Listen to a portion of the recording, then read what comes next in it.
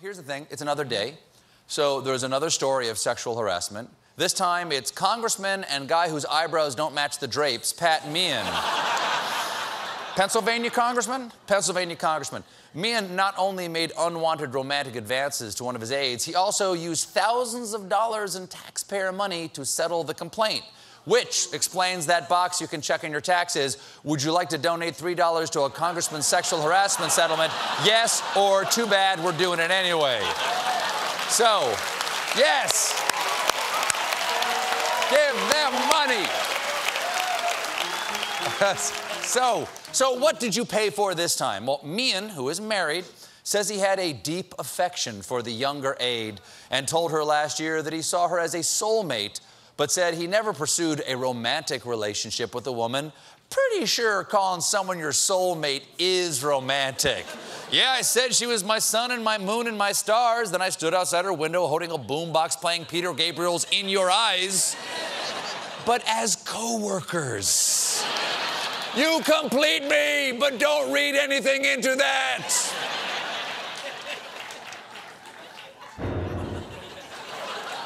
Now, Meehan's defense? He said he felt invited to express his romantic feelings to the aide as they shared ice cream after work. Sir, I think you might have misheard her. She said she wanted chubby hubby, not a hubby with a chubby. things got. Things got. Things got worse when Meehan found out the aide had a boyfriend, which prompted him to express his romantic desires and grow hostile when she did not reciprocate. Oh, who hasn't been there? You know, we've all had those feelings. It's yeah, like the old yeah. saying if you love something, set it free. If it doesn't come back, get angry. You know what's best for it. then, Meehan made it all better by sending a handwritten letter in which he wrote, As you bask in this moment of extreme joy, I want to share with you my sentiment of how richly it is deserved. I pray that you might be blessed with children that you will raise so wonderfully in your image. To which the aide responded, Dude, I just said I was going to Starbucks. Do you want anything? then, then it gets weird. Meehan recounts his trip to the Vietnam Memorial. And while he was there, he found two soldiers with their same last names. He wrote, As I traced the monument with my finger, I wondered who they were and why their plans ended so sadly and abruptly. You're at the Vietnam Memorial. Take a stab. now, Congressman Meehan is defending himself, saying that the woman specifically invited his intimate communications. Oh, I did not know there was an invitation.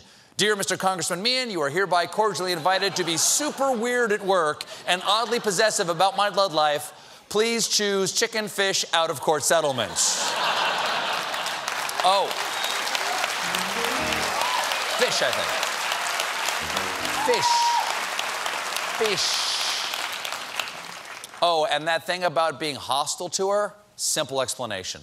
According to Meehan, any hostility he may have exhibited stemmed from stress around high pressure votes last year over the Affordable Care Act.